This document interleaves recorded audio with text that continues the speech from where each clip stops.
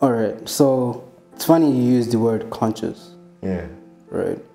Because there's conscious music. There's Yeah. conscious house music. There's you have to be conscious, you know. Such a Uh, layered word, isn't It's it? It's a Like- weird, weird word.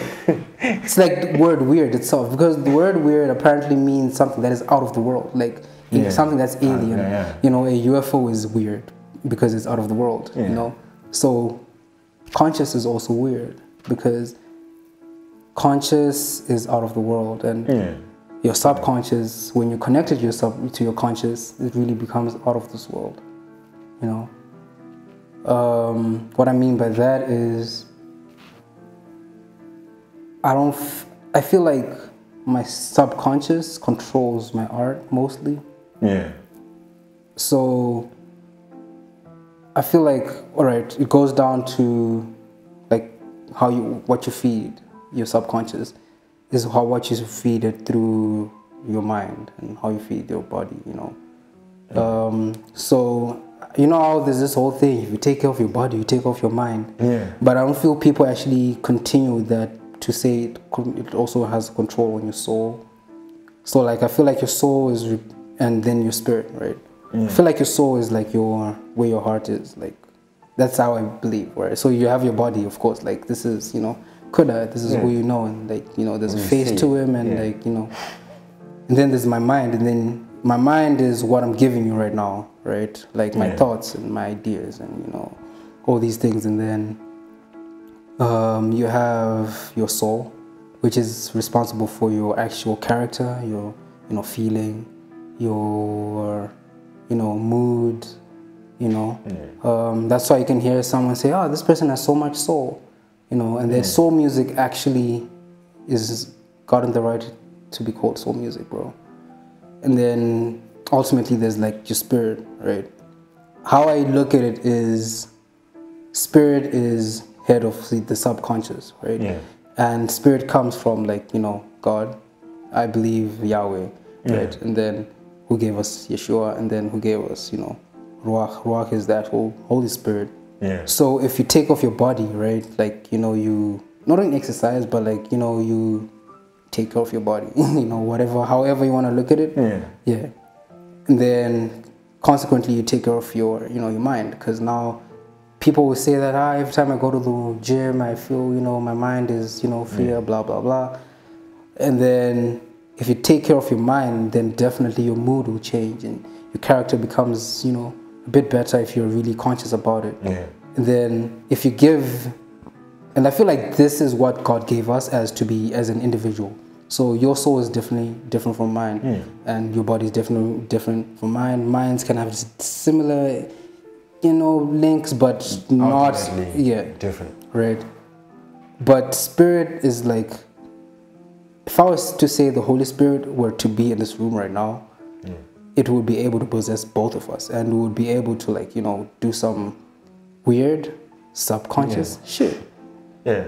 Telekinesis, people would say that, but I don't know how far that can go. Like, I, I Yeah. don't know if I want to test that, if it's meant to be, if I'm gonna experience that. Yeah. But I feel like sometimes it gets there where you're like thinking something and someone else is thinking that, you're like, oh shit, you know, coinky dink. Yeah.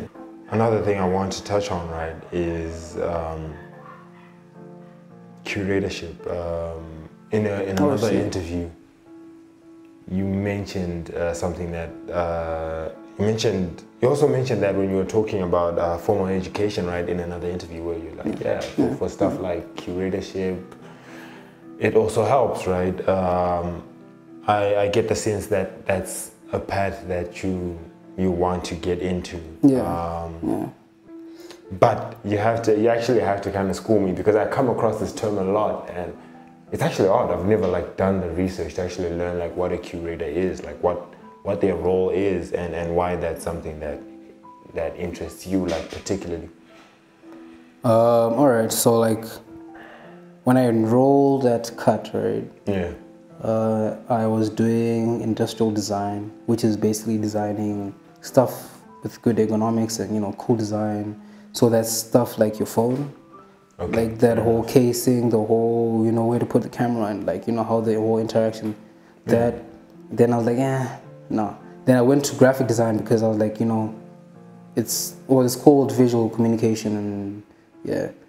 And then I went to that, and then so when we're there, they didn't have fine art, fine art. They were thinking about it, but there were not enough people that had you know Interest. yeah enrolled into that and like signed up so how it actually just got to me so like in our first year right i bumped into that when i was what i was i was actually at a gallery and then that yeah. that whole thing then i was like oh snap this is the whole thing and then i got interested in that because at that time I was also learning like art history, right? Like part of our first, like most of our first years, like art history and like you know just knowing. So like from that, I just started getting like really keen, and then I bumped into it like uh, I think it was I don't know if it was after one one or one two. I don't know, but like yeah, I bumped into that. I'm like, okay, this is what it is. So when when now the school was like, um, if you, they, there are enough owns who actually want to do fine art let's do it. And I was like, this is actually my chance, bro. Yeah. And yeah, I took that, and then I switched from visual communication to fine art. art. And then, so my f- sole purpose for that move was for curatorship, Yeah. right? Because I like putting things together, right, and make something out of it. I feel like what I like about curation or putting things together is stripping individuality from something and making it a part of something. You know, a nut is a piece of metal, right? Yeah. But strip that away, it's an actual functional piece that holds together a whole wheel. Yeah. If there are four of them or six of them, you know. So, I mean, that whole being like, all right, cool, we acknowledge your properties, but you're not enough alone. Yeah. So let's put you here where you complement something and then you become a whole thing. You know, because you can't drive a whole nut and, a, and you know a bolt. You know, but not like that. combination of that and like you know parts and like fluids and stuff, then you have a whole car that's running, and you can say that oh shit, that is a V12 engine with, but it's just pieces of metal and oils that are working together to make something. Yeah. So I feel like that's what also inspires me. But also like I feel like also it's what to do with how I grew up. Because my mom is not not much on toys, right? I would have toys, but toys like Lego, Yeah. um, puzzles. Uh, I would play with a Rubik's cube. Never sold one, solved one ever, but like just enough. playing with that, you know. So yeah, I mean, that I feel like also just kind of had a thing to Yeah, do with, like a loose you know, influence. yeah, yeah, you. yeah. I I don't know. Shout out my Kwan, bro.